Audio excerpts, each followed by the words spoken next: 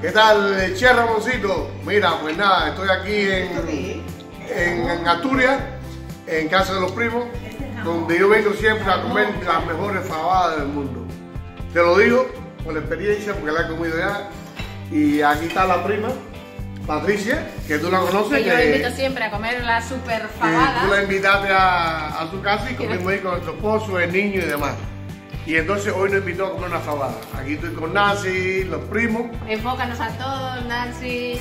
La, saluda a Ramón. la Virtu, la Berta, la Nancy, el Miguel, La familia, la familia. Toda la el familia. Tony, que es el que graba. Y el Tony que está grabando es el de la video. El Tony, que es el que graba. El Tony. Eh, Pues nada, Ramoncito, aprende a hacer fabada. Que esto, mira, aquí está la maestra. Porque, porque yo sé que tú eres el maestro del arroz campesino y las paellas, que te veo ahí que tienes, estás fantástico, pero resulta que te falta la fabada. Entonces, vamos a ver cómo hacemos fabada para Miami.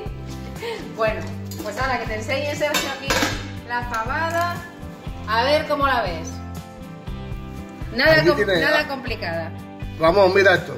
Mira, ya está, yo le estuve mirándola a ella que le estaba haciendo a esto. Y yo le expliqué, ¿por qué le hace esto? Entonces ella me dijo, Porque la, la fabada no se puede revolver, si la revuelves las fabas se pegan y se hace una pelota y, y- y no, no está bueno.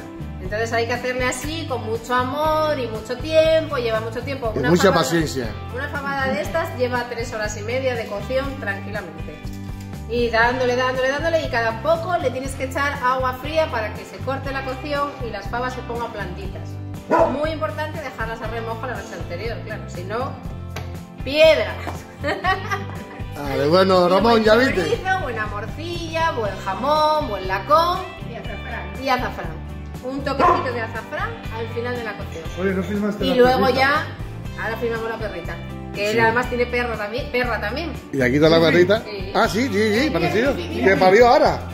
La de Ramoncito. Sí, mira, a saluda a Ramoncito, que él tiene una husky. Él tiene una husky, yo creo. Sí. Bueno, Ramón. Ramón. Bueno, eh, luego, luego dale. después te cuenta cómo sabe, porque claro, ahí, pero tiene que decirte después si le gustó o no le gustó. Dale, ok. Besos.